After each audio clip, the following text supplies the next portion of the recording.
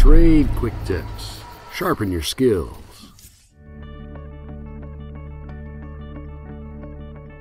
In this Schrade quick tip video, we're going to show you some small but essential survival items you can pick from to create an easy to carry, do-it-yourself mini survival kit.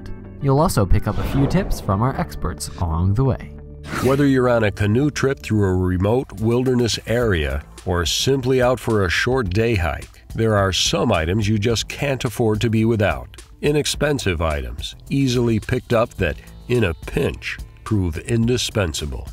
We are talking about a mini, do it yourself survival kit that can be easily assembled and carried in a pocket or the sheath pouch of a knife, such as the SCHF 9, SCHF 36, and SCHF 26.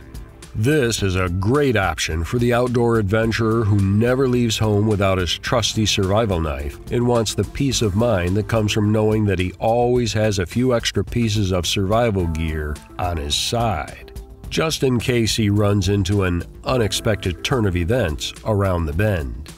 The critical parts of this kit should include items that help regulate your core body temperature by building a microclimate or shelter in a short amount of time, even while under stress or injured.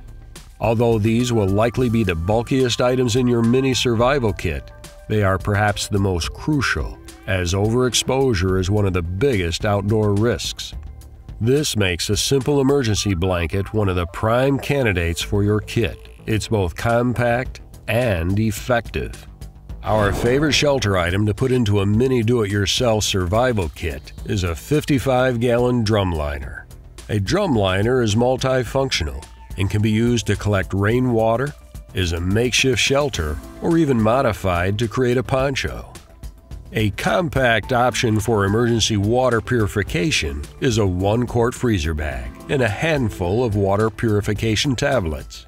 We recommend measuring and marking a 32 ounce line on the freezer bag ahead of time, as many water tablets are designed for treatment of 32 ounces of clear water.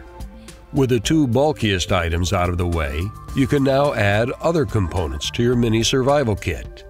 For example, if you choose to go with a small kit to carry in a pocket, we recommend placing your emergency blanket or 55 gallon drum liner in the freezer bag together with your water purification tablets. Then add a few other items, such as a ferro rod and a petroleum jelly infused cotton ball for starting fires.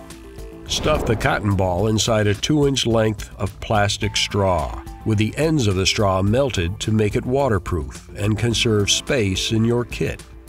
Additional kit items to consider include fishing line and hooks, a sail needle, 10 to 15 feet of cordage, snaring wire, any personal medications, and duct tape.